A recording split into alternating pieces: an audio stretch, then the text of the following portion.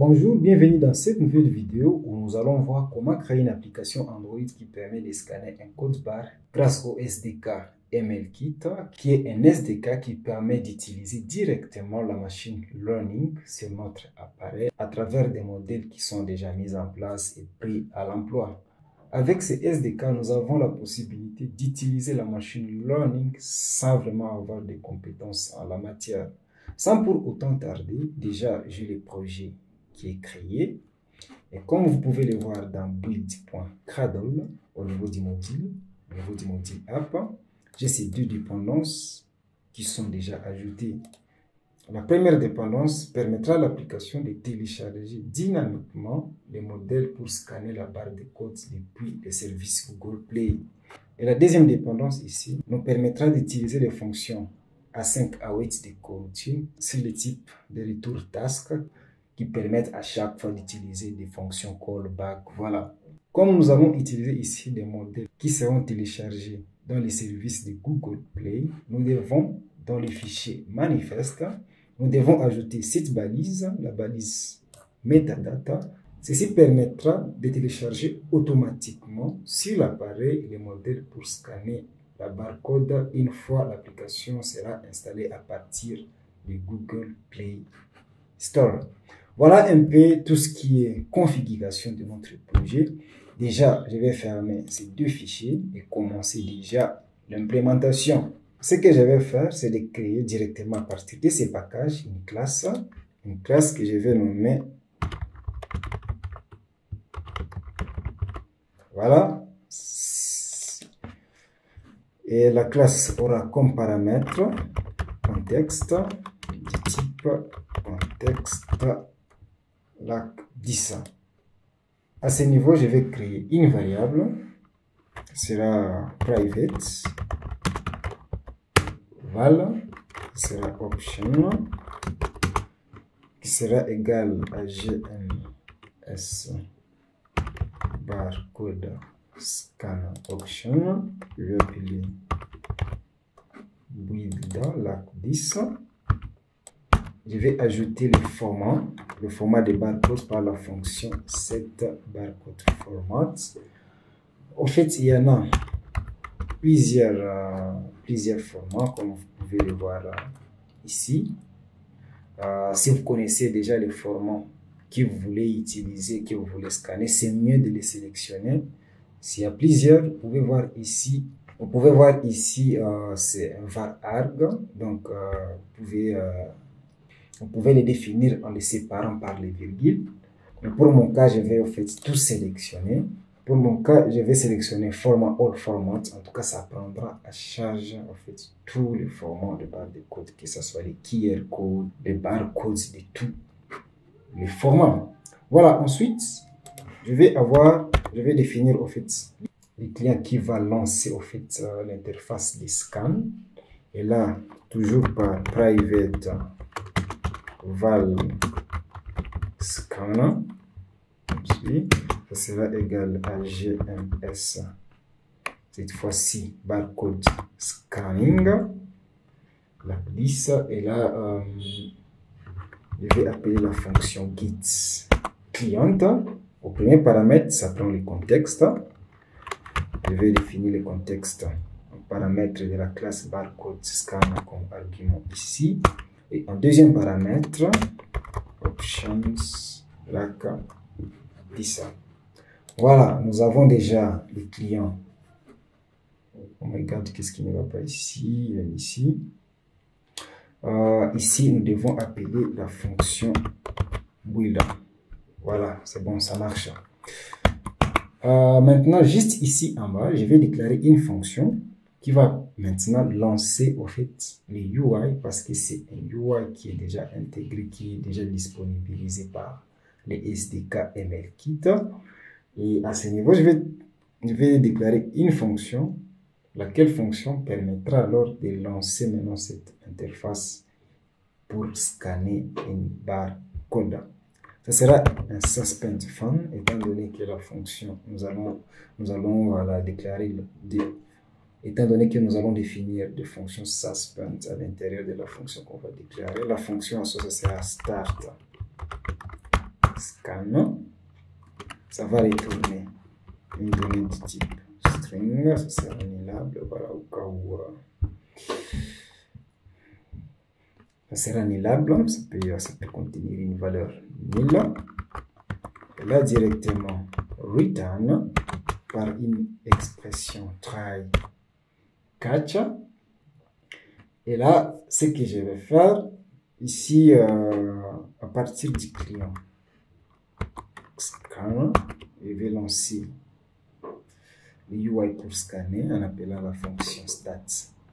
Scan, la police, c'est un task, je vais appeler la fonction await, ça va suspendre ici jusqu'à ce que le scanner retourne en fait la valeur scannée euh, ici au fait du scan effectué. Et là, euh, voilà, je vais euh, appeler row value. Bon, comme je souhaite retourner à une valeur de type string, je vais, directement convertir ça tous to string. Voilà, c'est bon.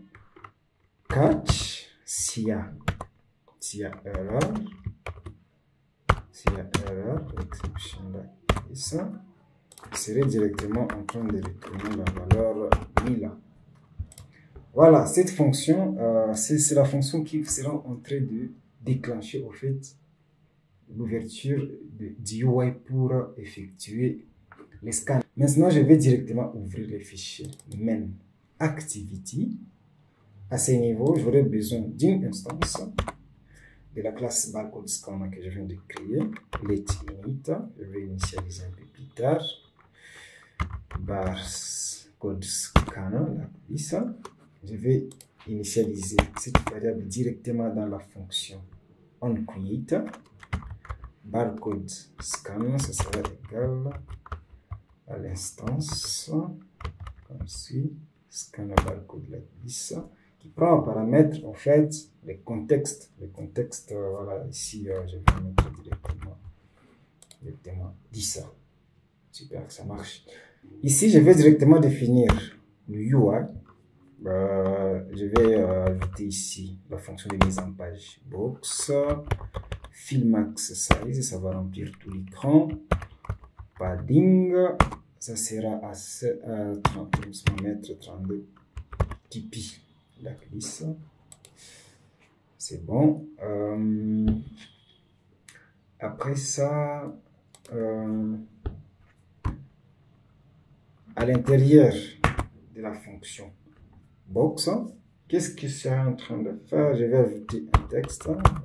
Je vais ajouter un texte comme ceci. La valeur du texte, en fait, ce sera la valeur qui sera retournée lorsque le scan réussit. Euh, ça sera dans une variable que je vais, que je vais nommer value scan de la glisse. Voilà, je vais déclarer ça tard. Modifie, je vais mettre modifier, modifier. À ligne sera au centre du box. Voilà. Je vais directement déclarer cette variable juste à ce niveau.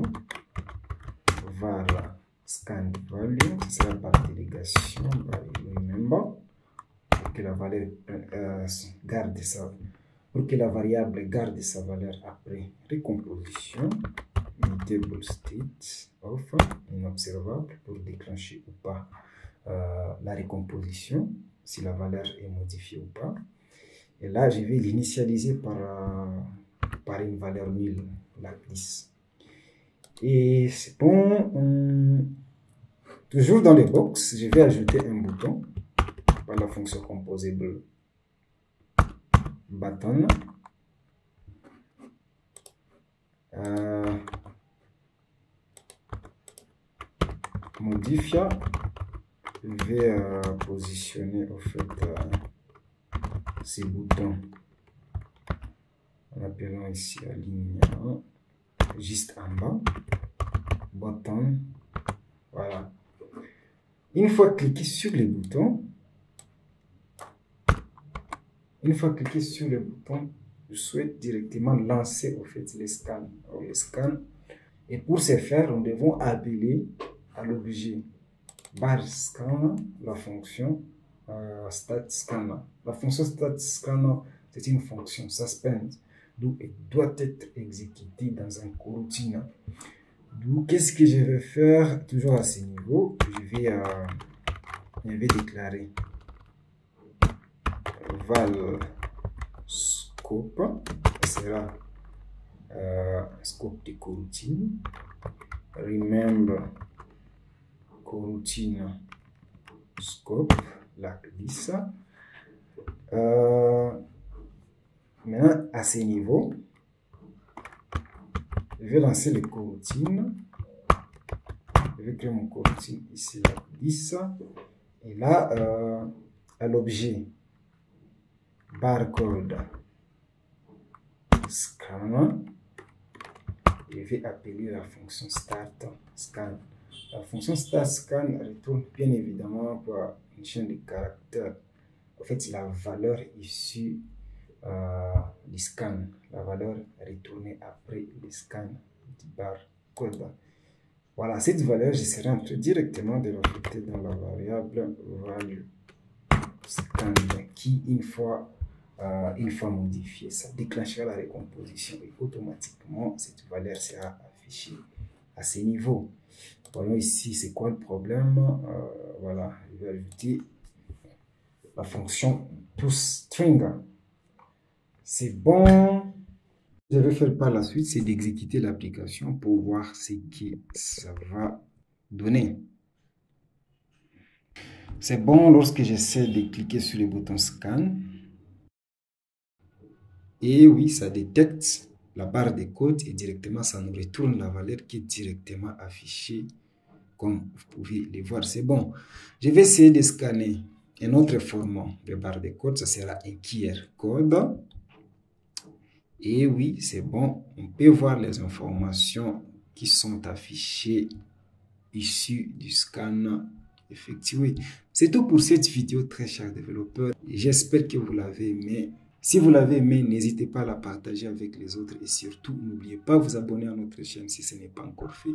Ça nous fera vraiment plaisir. Du reste, portez-vous bien. À la prochaine.